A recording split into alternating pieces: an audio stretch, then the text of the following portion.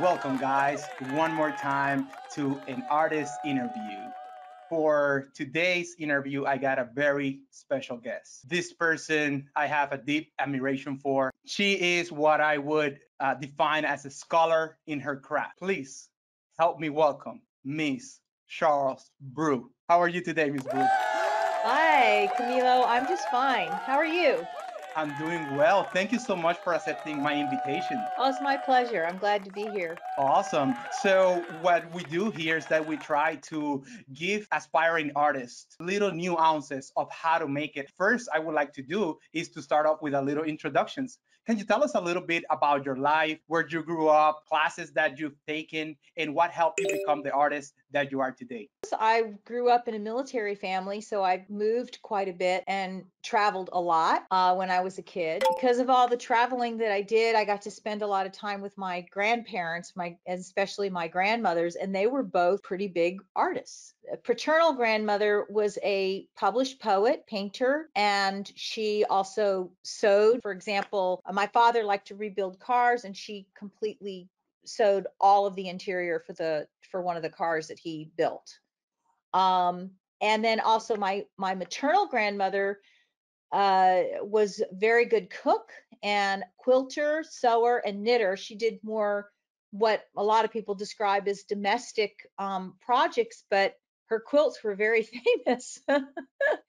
and they both taught me everything that they knew. So I grew up playing the piano, making art, sewing.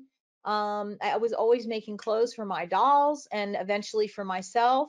And uh, obviously, I stuck with art. So I'd have to say that they were the biggest influences in my life. As far as classes go, I have um, uh, three master's degrees in my field and they're all in different areas. So I have, but, but they're all in fine. Well, I guess the last one's not fine arts. Uh, it's in animation with the focus on storyboarding. Another one is in um, digital mixed media. And another one is in uh, sculpture and art history. So I've had a lot of drawing, a lot, a lot of drawing. I, I used to think that, oh, if I took this master's, then when I go to get my next master's, I won't have to take these other classes, won't have to take these other classes. and then I end up, you know, taking them and learning a lot. I mean, for example, I learned that there's a big difference in styles between the East Coast and the West Coast, um, and in and how they're how drawing is taught. So I've had a real opportunity to delve into lots of different techniques, lots of different processes. Um, I can screen print, uh, etch, aquatint, phot- photography, painting, drawing, sculpture. You know, there's not a process that I haven't learned. Still taking classes. I'm taking a book dummy making course right now. So I've already taken master classes in how to actually construct and make books, but this is a book on the history and process of making a children's book and all of the whole thing from the editor side, the publisher side, the agent side, the printer side, everybody, the illustrator, the writer, every uh, author, everybody's different roles in getting a children's book made. So I continue to learn more things that I can not only pass along to my students, but help me with the work that I do. Amazing. Wow. All right. So from a family of artists to becoming an artist yourself and now study the craft to that point that is like knowing every single nuances that is very very impressive so are you currently working in any project that maybe you can talk to us about uh, well um yeah um right now i'm finishing up my second uh children's book uh, the first book that I did, I published myself. And then I just got this bug in me that just I just really want to get a book published by a publisher.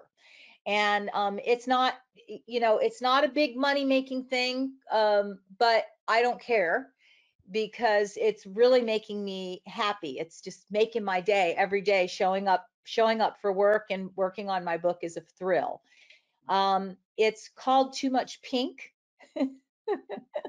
and it's about two little cows who uh, want to enter a contest. It's a fashion contest and the contest is to make a, a bow you know for their hair. And they start off wanting to buy the bow but they can't afford it. And um, so they have to figure out a way how to get make or somehow conjure up a bow for this contest. So that's what the book is about. Amazing. Thank you also for sharing those beautiful images of development of that project. And, and and i knew uh, the title. That's why today the, the, the shirt was not a mistake. I actually thought about. Uh, oh, oh really? Oh, about too much freak. Let me let me see what I can do here. All right. So out of all the projects that you've done, it seems like that one obviously fulfills you. Is that the one that you're most happy with? I am most happy with whatever project I'm working on in the moment. I care about the outcome and I certainly have a goal in mind for my projects, a bigger goal outside of myself. I try not to think about the bigger goal too much. This book is really uh, it's occupying my every waking moment in a good way.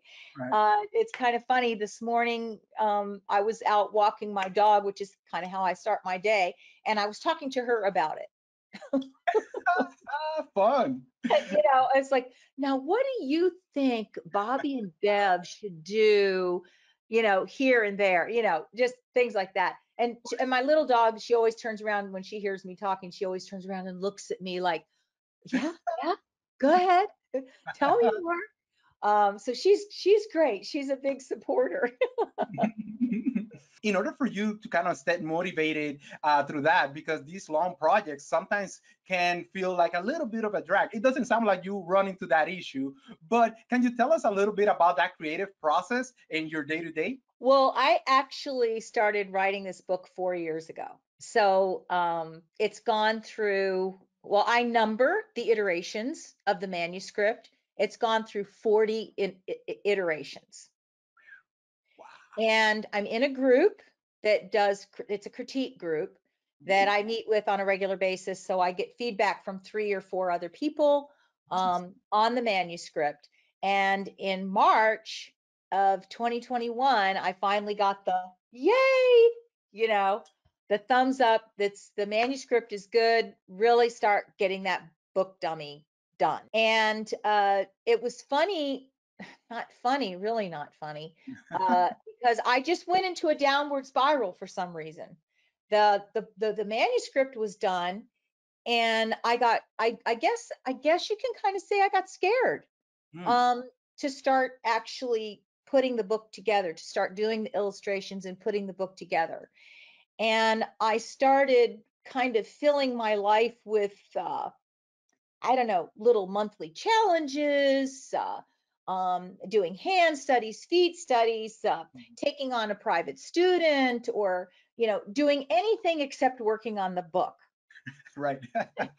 and um, then I got a little down about it because I felt like, oh, I'm spinning my wheels. I'm really not doing anything, and my work is going nowhere. And um, I just I I started posting less on Instagram and um, just not feeling really good about anything I was doing. Mm. And I think because in the back of my mind, I had this project I was thinking about and wondering, why the heck aren't you working on this? And I really, I mean, for all the folks out there who are struggling, because I, I've talked about this kind of thing with a lot of different artists and we all go through it. All I can say is thank God for my drawing group because I voiced my feelings in the drawing group one night and everybody was really nice. You know, uh, you know, to be to to be honest, a lot of people will go, "Oh, you know, you're great. Everything you do is great, blah blah blah." And it was good to hear, but when and you guys can identify with this, when you're in one of those moods, you can't take that kind of stuff in mm-hmm. because you know you're not producing the way you would like to be. And then finally, one of my former students at the end of the drawing session, everybody had gone and it was just she and and and and I or me. And she said, Mrs. Brew, she said, you need to stop everything that you're doing that's keeping you from doing the thing that you want to do. oh my gosh, I started crying. Wow. I might still cry. And Mhm. this is coming from my student. I said, I said, oh my gosh, how did you get to be so wise? And she said, one of my favorite teachers told me that for about four years while I was in college. And it was me she was talking about. Wow. Holy cow. Full circle. Okay. Full yeah. circle. Yeah, full circle.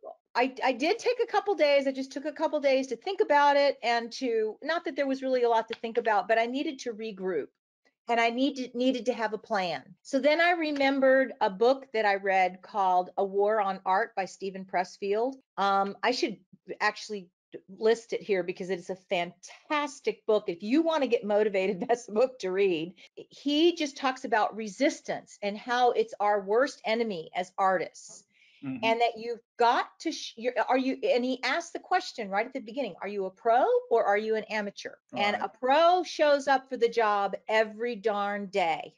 Right. and so i just started showing up for the job. And the first day when i started doing the thumbnails for the first spread everything clicked. It, not that the i'm not saying that the thumbnails were great okay? Don't get me wrong. I am talking about the feeling that i had sitting here working on this stuff.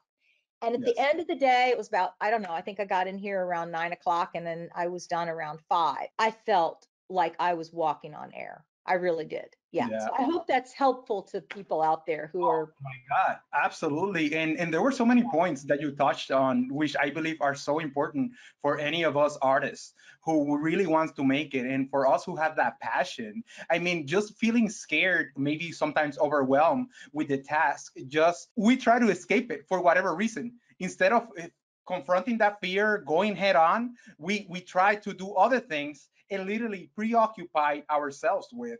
Uh, I totally relate when working on my comic book, same exact thing. I will feel so bad in any time we have to go anywhere, like travel on the car for long periods of times, because I'll be like, I should be working. I shouldn't be here. You know, I should be enjoying, but I'm not enjoying this because I know I, there's a project pending that I should be working on. And instead of doing that, I'm doing this other activity. And yes, I agree. Once you break through that barrier, tackling that fear head on and is, is extremely valuable. You also talked about the inspirations. Do you have any other artists uh, that you would like to maybe emphasize that maybe you use as inspirations? so many and some that you might not even think would be uh, an inspiration for this kind of project a children's book this book right here by molly bang it's called picture this and it's really talking about the anatomy of a picture and she describes it just using shapes and placement and composition. So it's also a reminder of your basic elements in design. Uh, so that's been an inspiration to me. There's another book real worlds i think real worlds. It's an old book but it's been around forever eh, but it's another book that's very similar to this. The art of big hero 6 some of my favorite illustrators lee white um, in one of his recent books. And just looking at compositions um, style uh, you know that appeals to children is very is very helpful. Going way back to nancy shaw sheep in a jeep you know and I, i've got just to just to let you know that no matter how how good you think you are you still need your anatomy books Absolutely. i'm working on cows right go There we go. and even though they're stylized and they're cute little fun cows and they're three heads tall and you know that kind of thing, I still want them to be believable. I want the verisimilitude there. I want that that suspension of disbelief. Okay. Mm. So I mean the list goes on. The list goes mm. on. So I don't I don't want to I don't want to um you know overwhelm but yes, inspirations. Yes, for sure. Mm. But you know, you were talking about feeling bad, Camilo, about going to a family outing and because you feel like you're supposed to be working. Now you love being with your family, right? And I know I think the same thing. And then on the other hand, though, those kinds of outings can actually be inspiration for you when you get back into your studio uh, because you might see a scene, you know, of some people talking, or you might hear somebody say something, or you might hear a, a, a tune being played you know i don't know if they, uh, you know they have music you know how you have music Mm. at these events sometimes and and you think uh, well for me i'll think oh my gosh i could totally do that for seeing whatever or Mhm. page whatever you know and i quickly i know it's i quickly get out my cell phone and open up my notes and type it down really quick so that i don't forget because those inspirations are fleet they're fleeting right they're like butterflies they're here and then they go yes. so um i can come home and then i can go back and i'll go oh what was that thing and then i then i can look it up and Mhm. and um, get it down. So i i don't discount wherever the journey takes me at all and i try not to let it um upset me if i'm not in my studio but kind of absorb what's around me so that it continually is feeding me um, when i get here Yes, yes, absolutely. And and most often than not, right, stepping out of the studio, um, you know, it helps. It helps out just to be in a different environment. And yeah, I agree. Once I come home, I'm I'm going for it. I'm I'm I'm even like you know so motivated because I'm like okay you know enough party or you know enough time away. Let's go ahead and tackle this. Yeah. And you know that can be as a you know that can ser- serve as motivation too. Very good. So um, another thing that I would like to touch on that you mentioned is having a group that will give you feedback. Talk to us a little bit more about that because I feel that is so important. How has it helped you? it's uh, almost more than words can describe how grateful I am to not only my drawing group but my critique group. And uh, it does take effort to do it. You know, there's this myth out there that artists work alone, and um, and they don't. I started this drawing group uh, probably about four years ago, and it's taken every single bit of that time to build up a group that comes regularly. So if you're gonna if you if you want a group and you don't have one start one. And it's it it might be a little bit slow. There might just be you and one other person but it doesn't matter. That's one other person that you have to bounce ideas off of. And even if you're not in a situation where you're so for example i have two work groups. I have a drawing group where we've hired a model or several models and and we draw for an hour once a week. A lot of people are very busy but it's amazing what an hour of deep practice can do for everything else that you're doing away from that group then I have another group that's called the Art Scene, and we get together every Friday for an, another for an hour. Mm. And we have discussions about art books. We have discussions about careers. We draw or we share projects that we work on. But we do start with talking about what projects are you working on now. It's it's not a pressure thing. It's just a reminder because some people they start a project and then they just you know somehow can't keep working on it for some Mhm. reason. They get stuck. So if you if you talk about it, you're actually you're not you're you're actually not only making a commitment to yourself, you're kind of making a commitment commitment to your group. So you have that control group going on there and you've said out loud, "Oh, I'm going to do this," right? Mhm. And so it does put a little little bit of pressure on you to to to to stick with it um whatever the project is it could be a it could be a 30 day challenge it could be a two day challenge. I'm gonna draw hands for two days and see how many hands i can draw for for two days or something like Mhm. that. So these groups have been really great. And then i'm in groups that i didn't start. I'm in critique groups with uh pros who are working in children's books and illustration so i get feedback from them and i get to give feedback as well. Nice. um, it's kind of funny. The one person I was working with told somebody else enough times that they really enjoyed the group, and then Mhm. that person came. And so it it was just it just builds from there.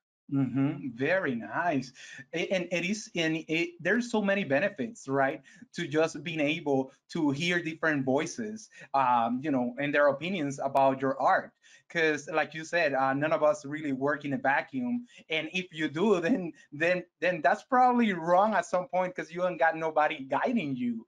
Um, and it's not that it's wrong, like that. Maybe that's not the right word here. Well, not healthy for your art. Not as healthy, absolutely because see that's the danger of of having uh you know being able to do so many different processes everything is interesting right, right. so mm-hmm. uh i have to be i have to be focused otherwise i would be looking at that painting over there on my wall and going oh you know i i would really like to do this but i'm supposed to be working on this right yeah, so no distraction, 100% commitment on the current project. Very try good. to, try to. But yeah, I'm really loving this. I'm really loving this book. And I'm actually it's it's it's uh it's kind of interesting because I'm in the hard part.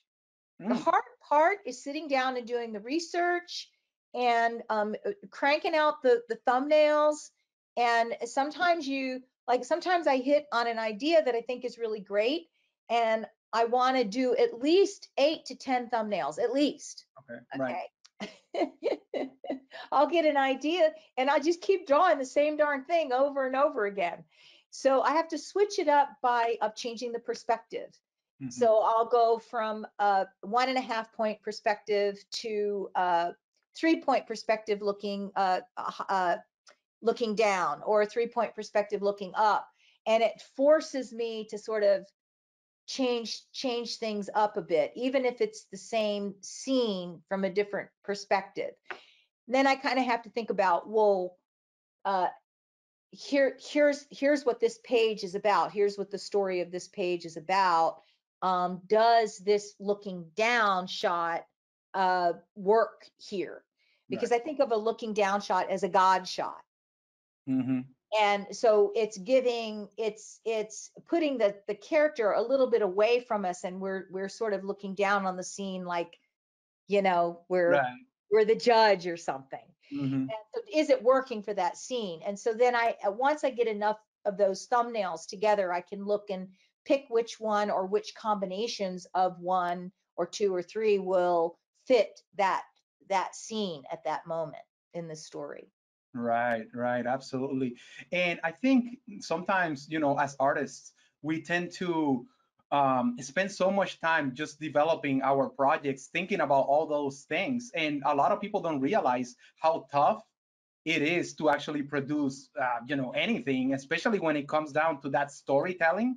Producing that storytelling, it can be so tedious. Um, I think that um, some people don't really see the value on it, right? Especially when we're doing like maybe freelance jobs or something like that, where they don't realize, hey, you know, that one scene could take us as simple as four hours or as simple as four months just to get it just right so that it tells the story because there's so much work that happens behind the scenes. Yeah, absolutely. So for me, that whole, I mean, as you can see, I've already, I was able to just pull right from around me one, two, three, four, five, six, seven, eight, nine, ten, eleven different reference books that I've got mm-hmm. with me.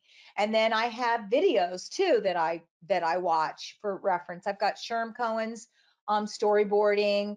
Um, I've got SpongeBob. I've got, you know, other uh, Flushed Away because Flushed Away, there's a great closet scene, and my story has a lot of fashion in it. And the girl is wishing for a closet big enough to feature all of her sneaker collection, right? And there's such a great closet scene in Flushed Away. So I have just got piles of videos, and I can just reach and stick it in and and and watch that as a as a reference.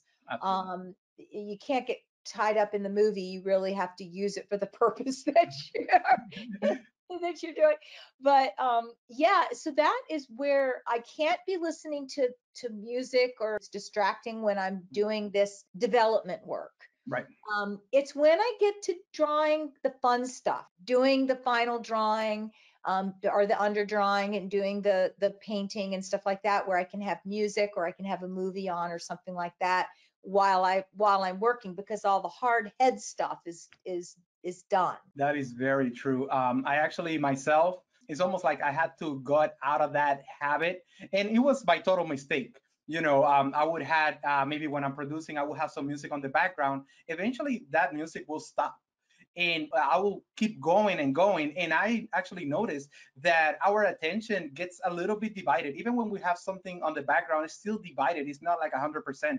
And I agree. When I'm doing a lot of the thumbnails or maybe the important you know uh, hard parts of a project i tend to just have absolutely full concentration on what i'm doing with nothing else playing on the background. I feel that if you're a starting artist and you've never tried that i would encourage you to give it a go. Have no distractions whatsoever uh, especially if you're a student and you might see a good change you know a positive uh, impact in your art.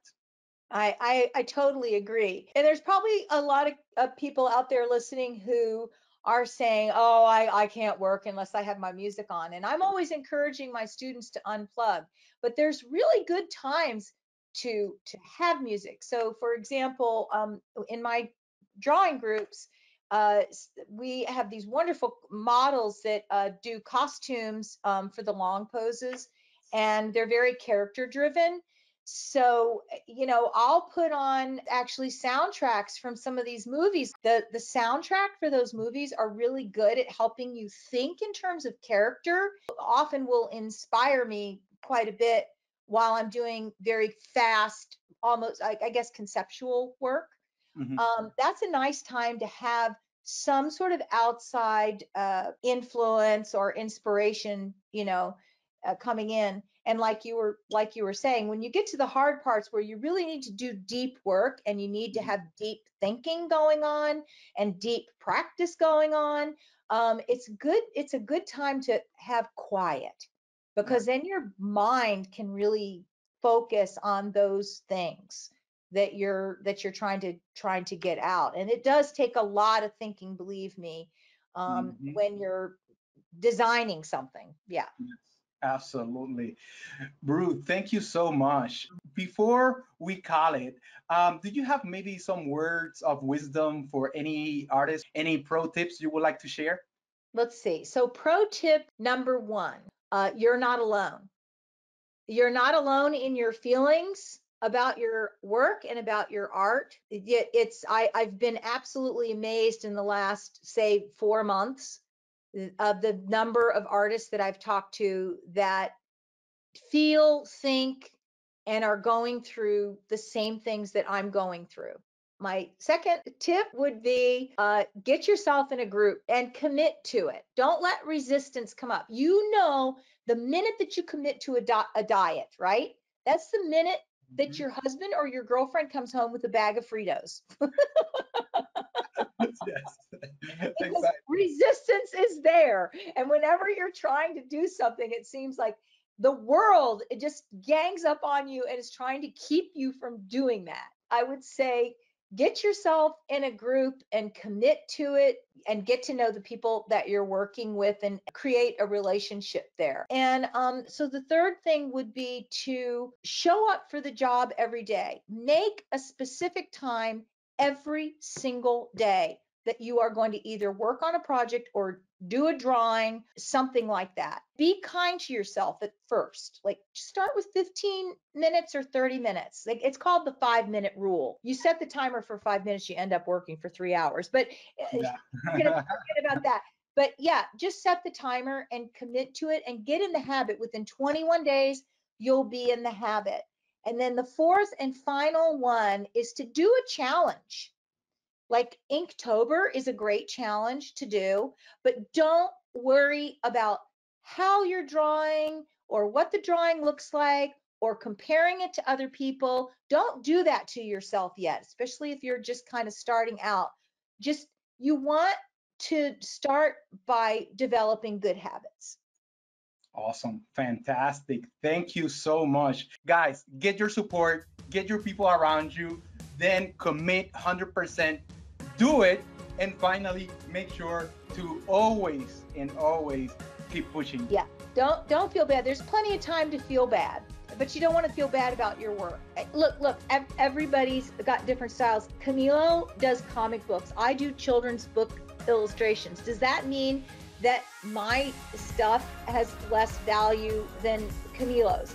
Does Michelangelo's art have less value than Degas' work?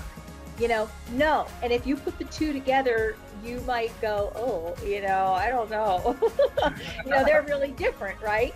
Right. So embrace what you're, what you, what you do and what you can do, and um, it will, it will find its place, and um, you will find your place as well in that, in that whole scheme of things. So be encouraged. Awesome. Thank you so much, Miss Brew. Appreciate it. It's been amazing spending this time with you. And you. yeah, we look forward to see and hear more about your uh, up and coming children's books. Real quick, if anybody has any questions, where can they reach you at? What social media do you use the most? Um, the social media I use the most is my Instagram. And I am, uh, you know, I'm out of my dark mood, so I am posting more. And I am posting my uh, thumbnails and my references and my underdrawings on on uh, Instagram now. And I think it does get posted to Facebook, but they can DM me anytime they want. If they're interested in coming to the drawing group, they can uh, DM me for that and get my email, and I will send them a link the uh, same with the uh, art scene. Everybody's looking for an art scene, and uh, that's on Fridays. So uh, yeah, just contact me through Instagram. Yes, all the links are below, so make sure to check it out. Again, you have here a well of knowledge. So guys, take advantage of it. Again, thank you so much for your time. I appreciate it. Yeah, good to see you. Good to see you too.